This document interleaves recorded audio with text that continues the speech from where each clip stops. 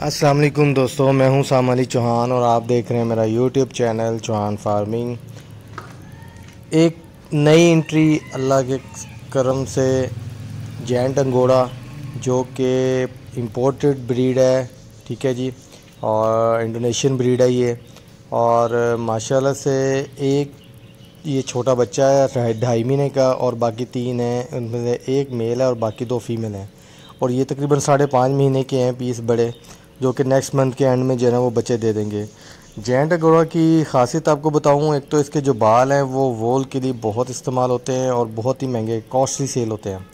तकरीबन कोई पंद्रह से बीस हज़ार के जी के हिसाब से आजकल का रेट चल रहा है। पहले ये दस हज़ार से शुरू हुआ है।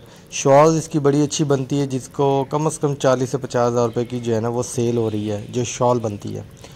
दूसरी चीज़ जी, ये इम्पोर्टेड ब्रीड है। थोड़े पैसों से एक सर्किट घर का चल सकता है, जिसमें आपको बता दूँ कि ब्रीडर पेयर आजकल तो चल रहा है को बीस से पच्चीस हज़ार रुपये का। ये शुरू में जब इम्पोर्ट हुआ था तो ये पचास से साठ हज़ार है ना वो पेयर मिल रहा था। अब क्योंकि रेट कम हो गया है, दूसरी चीज़ बताता चलूँ कि ये हर महीने आपको जो है ना वो छः से नौ बच्चे देते हैं। अगर आपके पास कम अज़ कम छः बच्चे एक फ़ीमेल दे दे, दो फीमेलों से आप बारह बच्चों से, आप एक बच्चा जो है वो तकरीबन तीन हज़ार रुपये का सेल करेंगे।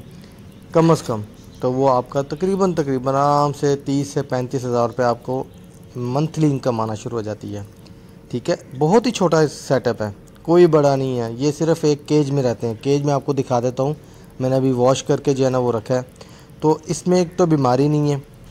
बीमारी सिर्फ़ गंदगी की वजह से आती है। जब इनके पाँव में गंदगी लगती है, उससे फंगस का इशू आता है, ख़ारिश का इशू आता है। इसके अलावा और कोई बीमारी नहीं है।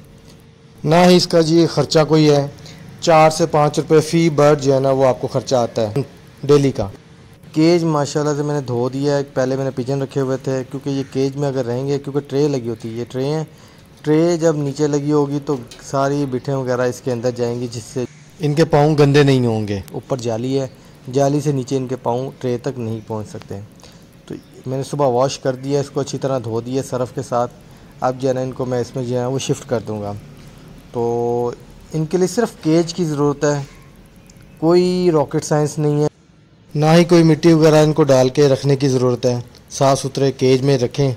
तो बाकी अल्लाह खैर रखे। इंशाल्लाह नेक्स्ट वीडियो में आपको दिखाऊँगा जब नेक्स्ट मंथ में इनके ब्रीड करेंगे।